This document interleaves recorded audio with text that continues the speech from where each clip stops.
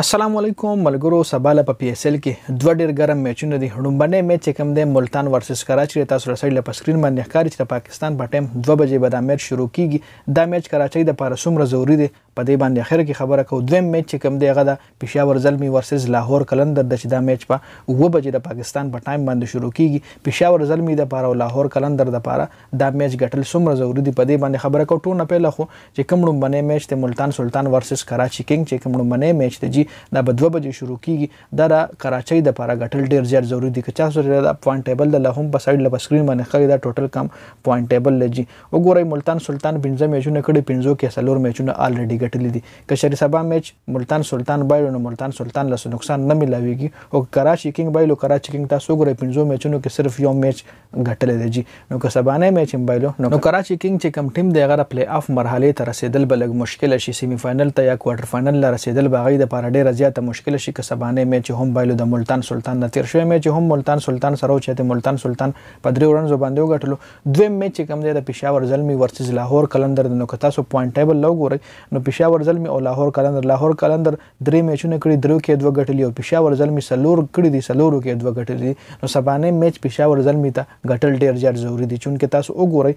رن ریټ یې هم ماینس پوینټ ون پوینټ ترټین دی جي رن ریټ یې هم ډېر زیات خراب دی د پېښور زلمي تېر شوی میچ اسلام آباد یونایټډ نه په ډېر غټ مارجن باندې بایللی دی نو په دې وجه باندې رن ریټ که چېرې تاسو وګورئ د پېښور زلمي رن ریټ ډېر زیات خراب دی لاهور قلندر په لمبر تین باندې د هغوی رن ریټ لږه ډېره ګوزاره کوي ماینس پوائنټ زیرو فائیو ته مطلب دا رجی سبانه چې کوم میچ ته د لاهور قلندر او پشاور زلمی دا پشاور زلمی له ګټل ډیر زیات ضروری دی پشاور زلمی چې تیر شوی میچ کې کوم میسټیکس کړیو چې هغه دا پیر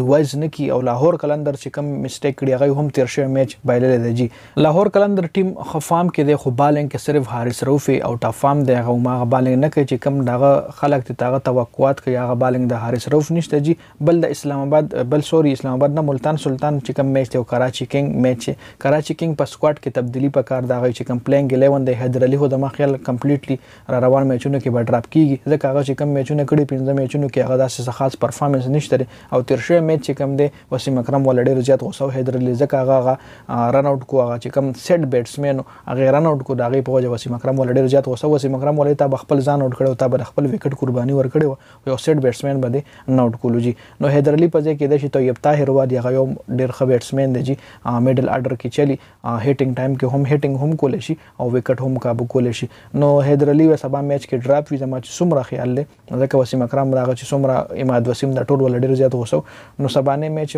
د کراچي کینګ لپاره ګټل ضروري دي او بل میچ دویم چې کوم میچ دی هغه د پېښور زلمي لپاره ګټل ډېر ډېر ضروري دي نو د ویډیو کتلو زیاته مننه ما به تاسو سره سباني میچ حوالې سره معلومات شریک کړم ډېره زیاته مهرباني ویډیو مخکې ملګرو سره شریکه کړئ جنید خان افیشل چینل هم سبسکرایب کړئ پیج هم لایک کړئ والسلام